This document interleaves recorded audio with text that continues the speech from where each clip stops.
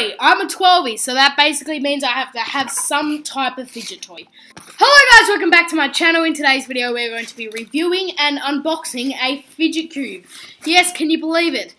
A video that is not about a fidget spinner these days. So I've already gone and opened it up because why not? Um, we've got this in there.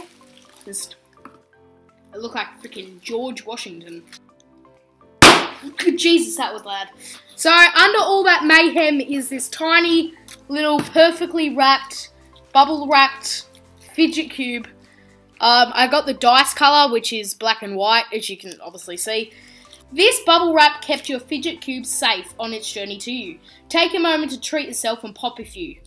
Hashtag fidget fever I'm gonna still keep the uh, trend going. Hashtag stop bullying me, the Fifth Smith. I don't want to ruin it. It looks so beautiful. Okay, I'm gonna take it off. Oh, ah, I hate doing this. It's gonna blow. Oh no, we're safe. Oh man, that okay. Well, that fell. So here's the actual fidget cube here. It's inside this nice little jazzy case. Um, yeah, cool. Pop her open. Oh my god. Look at it. It looks so fidgety. Okay, so we're going to take it out. I really don't want... Oh, this is my first time touching it. Okay. Oh, she's, she's not getting out. Ah, oh, she's going to blow. Ah, it's out. Oh my god, I did it. So here's the actual fidget cube thing. It's cool. It's got buttons that don't click. Oh, these ones click. Okay. Alrighty, cool. Let's have a look inside this because I've seen some other unboxings, so I don't seem like an idiot when I'm opening this. So, apparent. Oh yes, there is. I'm not lying.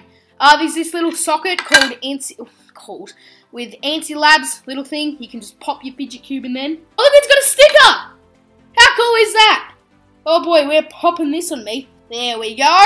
I'm an official fidget boy now. So, oh my god. Okay, let's actually move this stuff away and uh, let's actually review it. Okay, so the first side we're going to be looking at is the very top, which is the joystick. We never actually, oh my god, that feels, it's not like a remote controller joystick. It's just like, you know. Oh, that's, that's really, okay, that's really weird. Uh, so yeah, the joystick, it's just like any other joystick. It's, it's smooth, it moves. It's a joystick, basically. Uh, the next side is the switch. Oh, which is really smooth to click. I thought it would be a, like a little bit more harder, but that's like really, really smooth. Like you can just... it's basically all you can do with it.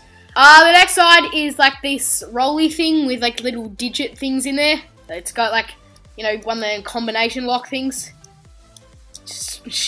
You can roll that. Uh, we've also got a rolly ball that can click. That is so satisfying. Can do this all day. Honestly, that feels so good. Uh, the next slide is this slide. The next side is this rolly thing here, and you can just like it's it's like really clickety, but like yeah, it it's like really stiff. But I guess that will like loosen up when I use it more. I don't know. Um, it one side these two these two click like really loudly, and then the middle one clicks a little bit less, and then these two outer ones do not click at all. Like they just, you can just press them. Um, and the last side is this very smooth edge, smooth zone, which feels really nice on your finger. It's kind of like, you know, it just fits your thumb or your finger perfectly. So satisfying. Yeah, I'm pretty sure that's basically about it.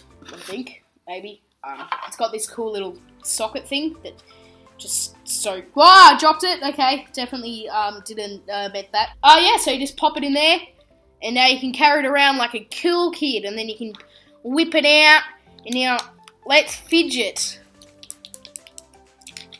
Yeah, okay, yeah, that's basically it. Alright guys, if you enjoyed that video, make sure to give it a thumbs up, and uh, yeah, I'll see you peeps in the next video. Um, goodbye! there.